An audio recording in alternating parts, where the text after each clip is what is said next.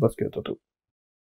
Всем привет, с вами Елена Баски, и сегодня мы с вами выясним, кто бьет татуировки лучше, мужчины или женщины. В эпоху борьбы с сексизмом это видео может оказаться особенно актуальным. Идея этого ролика на самом деле родилась всего пару дней назад. Я была на интервью, и у меня спросили, Хотела ли я получить одобрение метров российской татуировки, на что я ответила, это бесполезно, потому что я женщина. И звучит это очень сексистски. Да-да, я уже слышу ваши возмущенные возгласы. Естественно, это шутка, но это шутка, основанная на личном опыте. Исторически так сложилось, что изначально в профессии татуировщика было больше мужчин, таких идейных и брутальных, знаете, вот это вот стереотипное, с бородами, волосатые, либо дрещавые и пьяные. Когда я начинала, мне было 17. И на просторах нашей необъятной родины девушек-татуировщиц практически не наблюдалось. Может быть, парочка была, но они были постарше меня. В основном это были как раз таки брутальные идейные мужчины, как я уже говорила ранее. И естественно, для меня было просто нереально стать для них братюней. Я думаю, вам не надо объяснять, почему какая-то маленькая девочка в каком-то тату-салоне, что ты тут делаешь, иди отсюда, у нас нет мелочи. Даже обычные клиенты, когда я уже стала мастером с большим опытом, вы даже себе представить не можете, какое количество раз говорили мне, ой, а, а что, вы мастер, да? А, вот, а мужчина вот у вас там ходит, можно мне мужчину? Ой, а можно мне посерьезней мастер, а то вот, ну, как-то, я не знаю, что мне эта девочка может сделать. Я вот хочу серьезную татуировку, а это вот, ну так, типа, там, пусть делает надписи. И помимо этого прилетала еще огромная куча таких же стереотипных фразочек. Тут я вспомнила историю про Жигана. Я снималась в клипе Смоки Мо, Джиган и диджей кто-то, Ник Ван. И они меня вырезали из клипа, потому что я не похожа на тату-мастера, потому что он должен быть мужчиной. Но в последнее время, не скажу за весь мир, но в России я все чаще слышу, ой, так хорошо, что вы девушка, я бы никогда в жизни не пошла к мужчине. Девушки, они аккуратнее, делают более тонкие линии и вообще лучше следят за стерильностью, и вообще все такие чистенькие, опрятненькие, и вообще не хочу, чтобы меня стрёмный мужик лапал. Это такие другие мужчины говорят. И вообще тату-общественность России все больше говорит о том, что женщин-татуировщиц у нас гораздо больше, чем мужчин. Как раньше все были фотографами, дизайнерами, моделями, сейчас все татуировщики. М? Да, узнаете свои слова? Поэтому давайте уже разбираться, кто же бьет лучше. Естественно, все очень индивидуально. И вы можете обладать как мужскими, так и женскими качествами, несмотря на пол и так далее. Но есть какая-то такая общая концепция. Я люблю хронологический порядок, поэтому мы зайдем издалека. Почему раньше было такое преобладающее количество мастеров мужчин? Все просто. Дело в оборудовании про электрическое оборудование, не про палки говорю. Под палками я подразумеваю ручные техники нанесения татуировками. Дело в том, что раньше, совсем раньше, тысячелетия назад, э, профессия тату-мастера считалась женской профессией, потому что женщина проводник энергии и так далее. Об этом будет отдельный выпуск на канале. Сейчас будем начинать с тех времен, когда появилось электричество, с начала 20 века и, соответственно, электрическое тату-оборудование. Появились первые машинки. Первая в мире тату-машинка с электромагнитным приводом была изобретена татуировщиком из Нью-Йорка Сэмюэлем О'Райли. Он взял за основу изобретенное в 1876 году электрическое перо для копирования документов Томаса Эдисона. Пневматическая трафаретная ручка пробивала отверстие, а на полученный трафарет валиком наносилась краска. О'Райли оснастил исходный механизм контейнером для краски, стал применять спаянные пучки игл и в 1891 1991 году получил патент. Итак, вспомним конец 19-го, начало 20 века. Что могла женщина? Что ей разрешалось? рожать, там что готовить, если у тебя были служанки, управлять служанками, вряд ли ей давали подступ, так сказать, э, к собиранию тату-оборудования. Даже если были единицы какие-то отчаянных женщин, их быстренько э, прогибали. И поверьте мне, к 90-м годам мало что изменилось, да и к 2000-м, и к 2010-м. Естественно, все эти тусовки татуировщиков, они были такие полуподвальные, какие-то брутальные, с ромчиком. Можно было собирать машинки, исключительно покуривая сигару, если ты зажиточный татуировщик. Если ты не зажиточный, то папирку. Значит, пьешь, паяешь, собираешь. Ну и какие женщины? Женщины, наверное, так их приглашали просто посидеть рядом. К сожалению, к сожалению, к сожалению. Поясню, зачем нужны были эти сборища. Для того, чтобы научиться менять пружину на тату-машинке, эти знания можно было получить только исключительно от брата к брату, потому что интернета толком не было, никаких форумов только не было. И лично я там в 2004 году справлялась только тем, что я сбегала ночью из дома, э, сидела в интернет-кафе, слава богу, английский я знала, переводила иностранные сайты и, в общем-то, всю информацию черпала оттуда, как собирать машинку, как что паять и так далее. Повторюсь, Повторюсь, любовь мужчин к технике – это данность, которую сейчас очень сильно оспаривают ученые. Но так уж исторически сложилось. Ну, типа, это прям дикий стереотип, что только мужчины любят технику. А мужчины это сейчас оспаривают, вот потому что я вначале это сказала, потому что женщины не подпускали раньше к науке и так далее. Почему же сейчас стало так много женщин в этой самой тату-индустрии? Все просто, потому что она развивается семимильными шагами. И сейчас даже самый маломальский тату-магазин обладает очень э, знатными маркетологами и продавцами, которые вам в красках опишут, почему именно машинка это лучше, чем это, продадут уже готовый тату-набор и так далее. И причем, хочу вам сказать, это, конечно, все легко купить, но это не значит, что это правильно. Я все-таки верю в то, что тату-машинку надо подбирать под руку, а не брать то, что вам советуют. Плюс не забываем, иглы паять уже не надо. Те бессонные ночи, когда я паяла иглы, забивая себе паяльную кислоту в глаз, они прошли. Людям уже не надо подбирать носики к иглам, что все это подходило, для вас уже есть картриджи. Вообще просто воткнул, примагнитил и вообще мозг себе не заваливаешь информацией, что, конечно, печально. На самом деле все стало проще и для мужчин в том числе, если быть честным. Но, тем не менее, у нас один-один. Поехали дальше. Эволюция. Конечно, мужской и женский мозг устроены немного по-разному.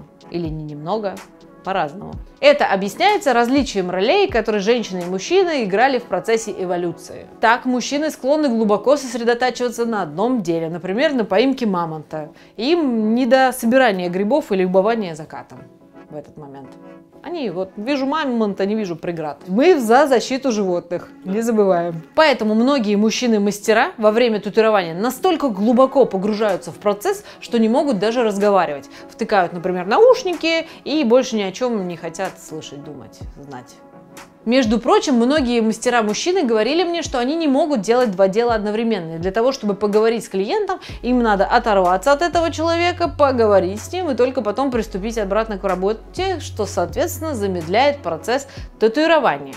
Но вот эта сосредоточенность на одном деле, естественно, является огромным плюсом. Вы можете быть уверены, что мастер полностью погружен в работу, ни на что не отвлекается, супер там вообще тюси-пуси там выводит.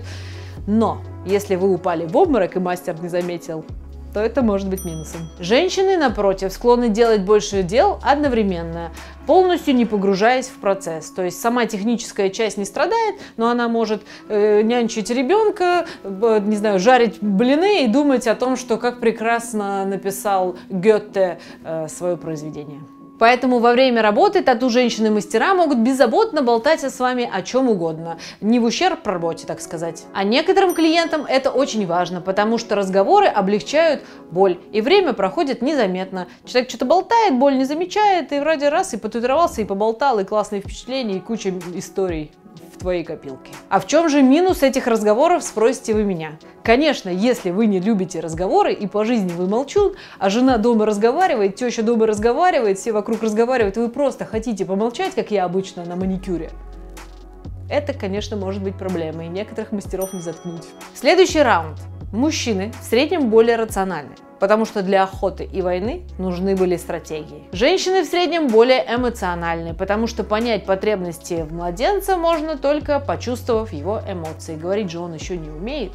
Даже Собчак стала какая няшка, обратите внимание. Как это относится к нашей теме? Мужчина думает так, вижу цель, не вижу преград. Хер ли ты приперся и не терпишь боль? Это инициация. Пришел, терпи. Нефиг тебе тут обезболивающий он просит, что-то там поговори с ним. Хренял что ли?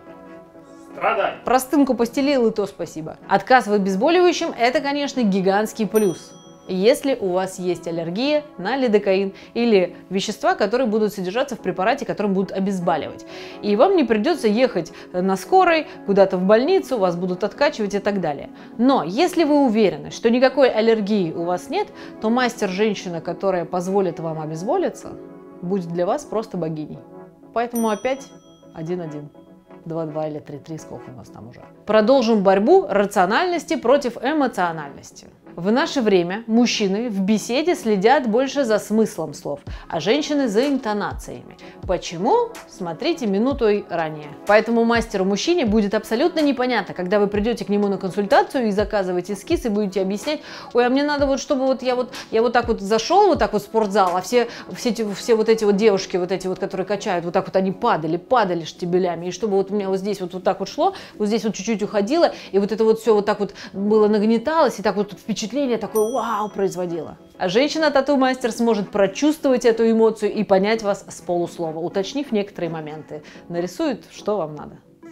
И вы такой вау, и наоборот, если вы придете к девушке тату-мастеру и скажете «хочу дракона», она будет вас допытывать, какая у него будет эмоция, открытый ротик или закрытый, а как он будет, какая у него позиция по жизни, какие политические партии он поддерживает, чтобы правильно передать рисунок. Кстати, очень часто э, женский мозг связывают с творческим мышлением и так далее, но это все херня, скажите это Веласкесу, Микеланджело, там, Дали, не знаю кому.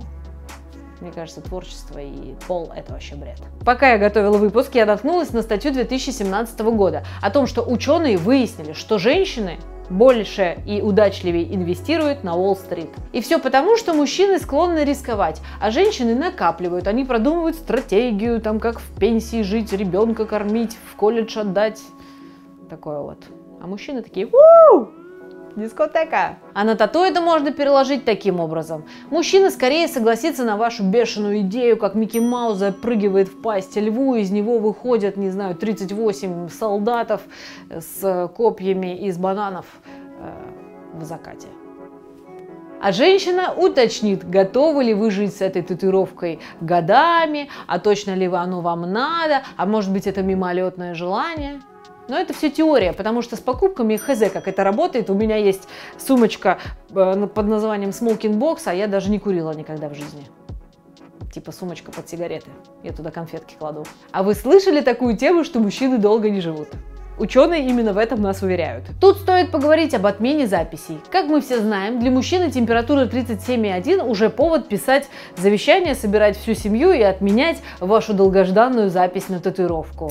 И это может оказаться плюсом, потому что та же самая женщина, которая придет на работу с температурой 38,9, соплями, чихая, э, сморкаясь, может вас тупо заразить. И это точно не самое лучшее, что нужно делать во время того, как вы татуируетесь, потому что иммунитет падает, зараза лучше липнет. Поэтому и вы приходите на сеанс чистенький, здоровенький. И мастера должны быть чистенькие и здоровенькие но они не должны притворяться, что они болеют. Вот это важный момент. Переходим непосредственно к контакту. Многие женщины очень сильно стесняются раздеваться перед незнакомым мужчиной. Некоторые по религиозным убеждениям, некоторые просто стесняются, ну потому что, ой, мужчина, там, я не знаю, кокетство, там, я женщина-загадка, а кто-то стесняется своих, как им и кажется, дефектов. Где-то растяжечка, где-то что-то сложилось, где-то там э, трусики отличаются от лифчика. В этом плане женщина-мастер, конечно, большой плюс. Точно уж никто не будет осуждать. Мы уже этих женщин видели миллионы. Я столько грудей видела в жизни, что ни один мужчина, мне кажется, не видел. Не знаю, к чему я это сказала, просто похвасталась.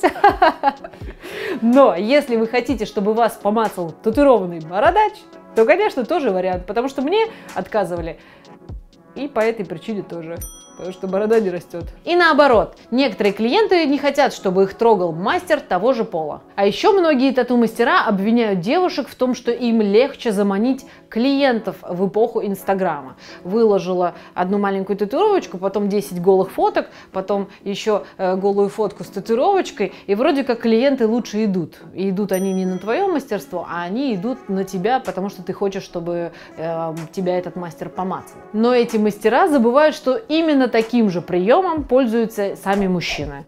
Но давайте уже переходить к наглядным примерам. Говорят, что у женщин более развита мелкая моторика. Вязание, бисероплетение, какие-то стразики наклеивать. Но скажите это мужчинам-резчикам по камню, дереву, по коже. Давайте поэтапно. Я часто слышу от клиентов, что ну вот такие вот тонкие линии только девушка может сделать так аккуратненько, прозрачненько и чтобы прям так изящненько. Давайте сравнивать работы мастеров. Угадаете ли вы, где сделала работу женщина, а где мужчина. Пишите свои варианты в комментариях, а правильные ответы вы сможете увидеть в описании к этому видео. Ну хорошо, Традик, такой очень мужской стиль. Говорят, только true чуваки с ромом под мышкой могут делать его качественно. Но сможете ли вы угадать на этих двух фотографиях? Где мужская рука, где женская? Большие размеры, спросите вы у меня?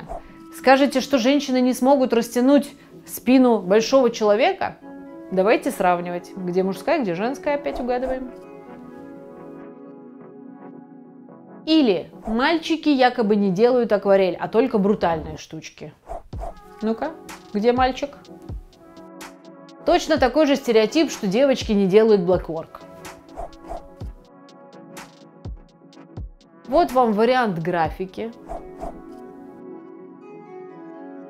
Тут же у нас есть неутрат. Говорят, что женщины намного лучше чувствуют анатомию тела, и поэтому расположение работ вроде как красивее, но вот посмотрите на эти работы и угадайте. Я таких примеров могу привести вам просто массу. И к чему я это все? Посчитав все плюсики и минусики, мы пришли к выводу, что перевеса нигде нет. И поэтому при выборе мастера пол – это последнее, на что вы должны смотреть, даже если вы хотите, чтобы вас помацали. Ну а с вами была Елена Баски. Не забывайте подписываться, ставить лайк. Обязательно проверьте, нажат ли у вас колокольчик, потому что говорят, что они слетели. Некоторые мне люди говорят. М-м-м. До новых встреч!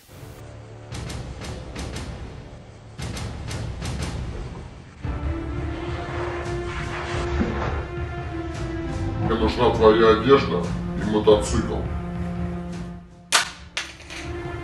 Минуточку, сейчас все будет. Вот, Это что? как что? Это одежда, а это мотоцикл. Это мотоцикл? Да, по этому сертификату вы можете сделать любой мотоцикл в любом стиле, который вам нравится. Графика, неотрат, реализм, дотвор, все что угодно. Виздом тату на Бориса Галушкина 10.